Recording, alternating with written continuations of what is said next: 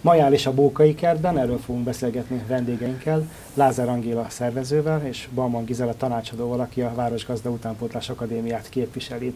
Üdvözlöm Önöket! Üdvözlöm és a nézőket! Azt megszokhattuk ugye, hogy a majálisnak minden évben van valami újdonsága, amit kínál a látogatóknak. Idén van valami, ami nagyon jól hangzik, gasztronómiai újdonságról van szó. Magyar Ízek utcája, jól mondtam? Jó, így van, Magyar Ízek utcája.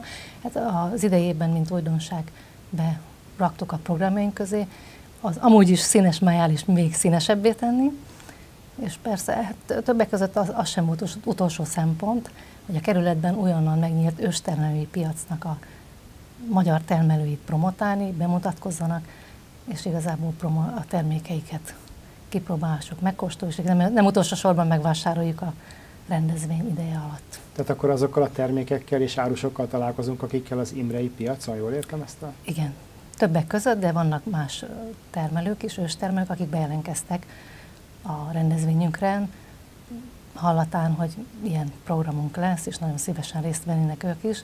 Mi meg természetesen fogadunk minden, ami ezzel kapcsolatos, és a magyar termékeket, ízvilágot elénk tárhatják, és megismerhetetik a kerülettel, és nem csak a kerülettel, hanem egész Budapest ugye szeret a majálisunkra járni, és szívesen látunk mindenkit ez, ez ügyben is, vagyis ezzel kapcsolatban. Úgy tűnik, hogy az evéshívás mellett ugye akkor a sport, a mozgás is ö, előtérbe kerül, vagy reflektorfénybe kerül most. Hát valahogy le kell mozogni ezt, amit megettünk, de félre a tréfával első alkalommal a majálison megjelenik a sport, célirányosan, hiszen március 12-én volt ez a sajtóbejelentés, hogy megalakult a Városgazda Utánpotlás Akadémia.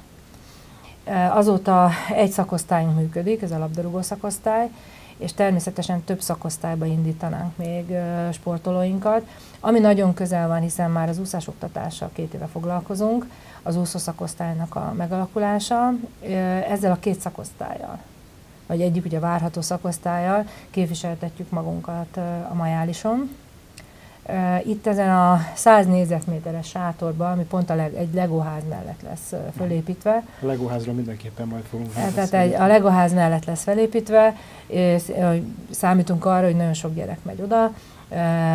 Csak úgy tud oda menni, hogyha megnéz előtte a Utánpotlás Akadémia sátrát, vagy legalábbis nem tudja kikerülni. A kettőt megpróbáltuk úgy összehozni, hogy a gyerekeknek ugye a legózás, a sport, a logikai játék mind a kettő összejöjjön.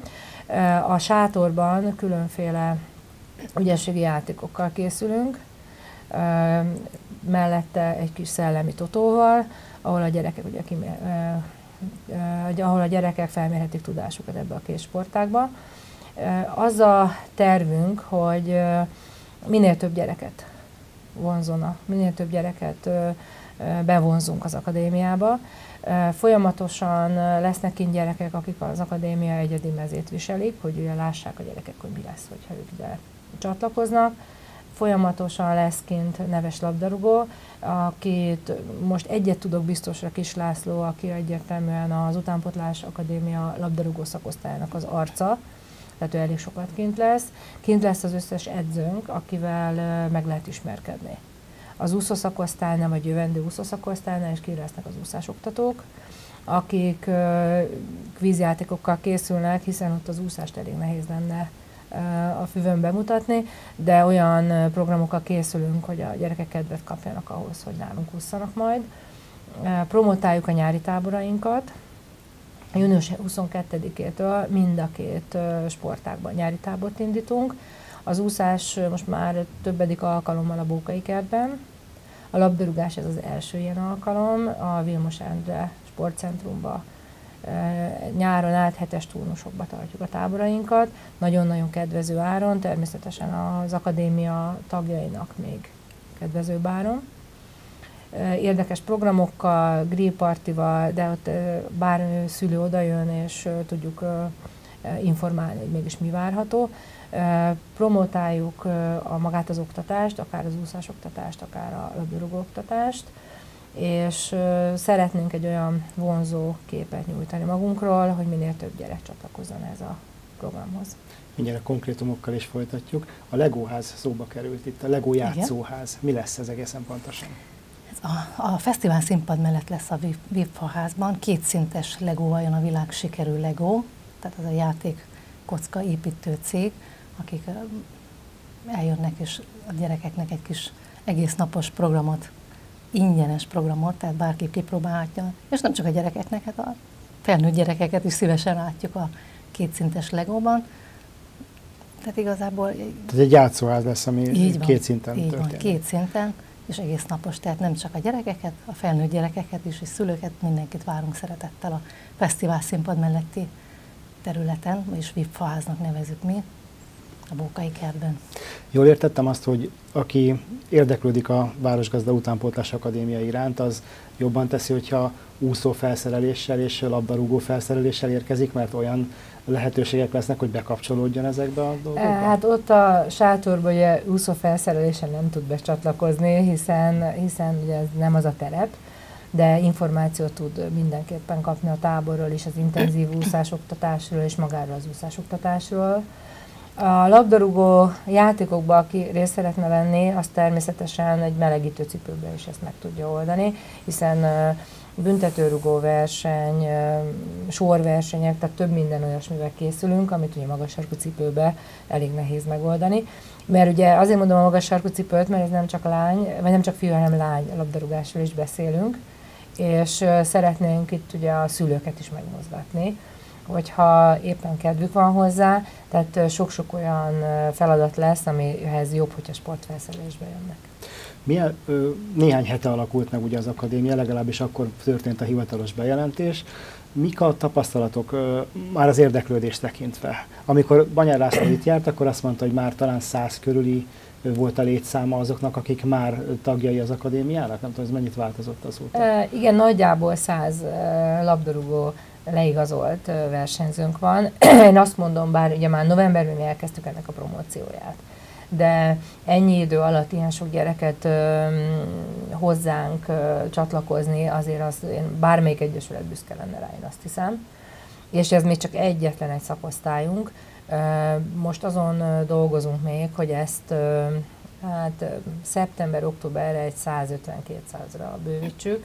Nem kis munka, nem kis munka, de én azt hiszem, hogy az edzőink pedagógiai, szakmai felkészültsége ezt predestinálja, tehát valószínű, hogy ez megoldható, hiszen én azért kezdtem a pedagógiával, mert ugye 6-15 éves korról beszélgetünk labdarúgásba, és sőt már 5-15 éves kortól, hiszen az óvodások is már jelentkeztek.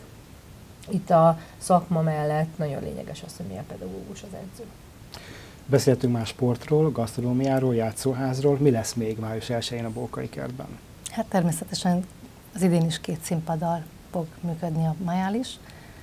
Fellépőkkel, színes programokkal fogjuk várni a rendezvényre kilátogatókat.